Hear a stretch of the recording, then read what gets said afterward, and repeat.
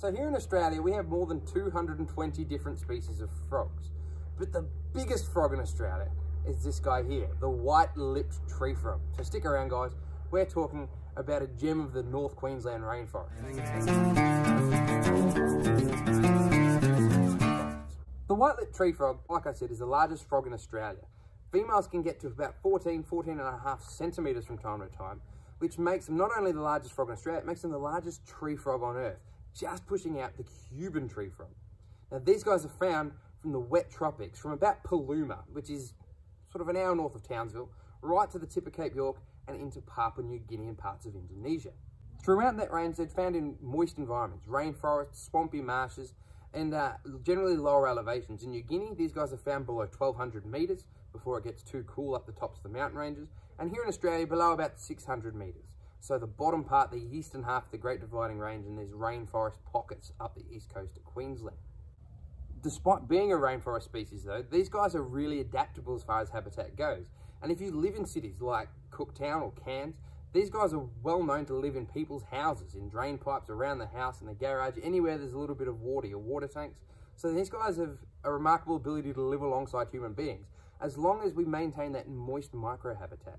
Now, within these areas, these guys are filling an important role. These guys eat a huge amount of insects. So these guys are doing a good job keeping your yards, your properties free of insects. We've just got to look after them and provide that little bit of moist environment for these guys to live in. Like most of our tree frogs, these guys are, of course, this bright green, but they can change color a little bit. They go anywhere from a bright lime green down to sort of a, a browny dark color, depending on how warm or cold they are, how well they're feeling, and they've got these nice creamy bellies.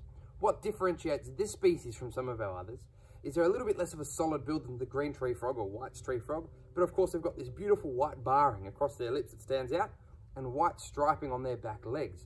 Now in the males, during breeding season, this white striping on their legs turns sort of a flush of salmon pink. So they're quite a pretty frog. Also, of course, being a tree frog, climbing is, of course, their bread and butter. And to aid in climbing, these guys have really special feet, just like most of our tree frogs. Their back feet, like the vast majority of frogs, are fully webbed. But on their front feet, they've only got webbing about one third of the way up, leaving their fingers particularly mobile to climb over uh, trees and maneuver through this arboreal environment. As far as breeding goes, these guys breed over the wet season, usually the day after rain. And unlike some of our frogs who like moving water, these guys like breeding in still water, permanent or temporary pools. Now, breeding in temporary pools means you want to have a fairly quick turnover. And these guys go from laying their eggs to turning into frogs in only eight weeks. What this means is if uh, this pool dries up, these guys get a very quick turnaround to get out of that pool.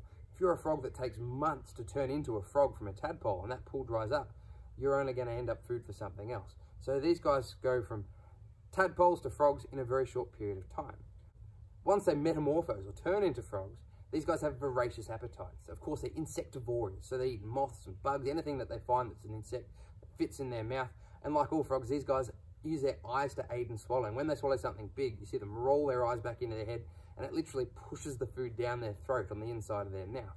And these guys have to eat a lot because they're such a big frog. It takes them two years to grow to full size and reach maturity, and then they'll live for up to 10 years. So they've got a pretty long lifespan.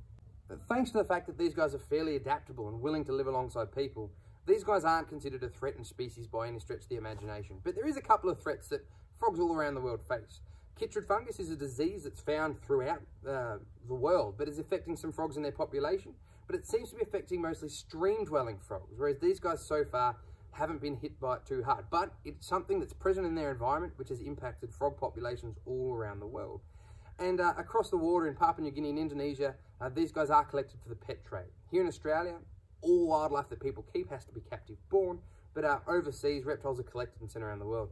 But despite that, these guys are in stable numbers throughout their range. They're adaptable, they're happy to live alongside people, and if you live anywhere between sort of Cooktown or Cairns and, and into Papua New Guinea, you might have these guys in their backyard. But there is a couple of things you can do to help them.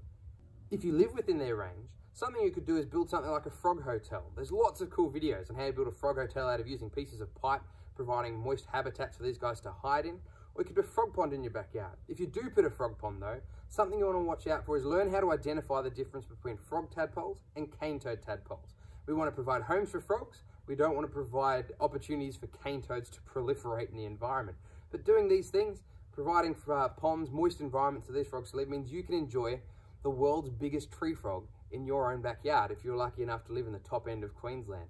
And I think that would be a pretty spectacular thing to have sitting at your back doorstep. I think those guys are really cool frogs and I hope you do too. But uh, I'd like to thank you for watching the video today. And if you haven't already, please subscribe to our YouTube channel, like us on Facebook, all that kind of stuff. And another place I want you to check out is this guy here is one of many animals that we're talking about on our channel who belong to Lilydale High School. These guys have an amazing collection of, of frogs and reptiles from all over Australia that these guys keep at the school and the students care for and look after and breed. So check out them. It's Lilydale Reptile Room on Facebook. Leave them a comment, tell them Wicked Wildlife sent you and show our appreciation for getting to see all these cool, amazing animals. Now, if you haven't already, like I said, subscribe, check on back next week. Between now and then, be nice to wildlife. Have a good one and take care.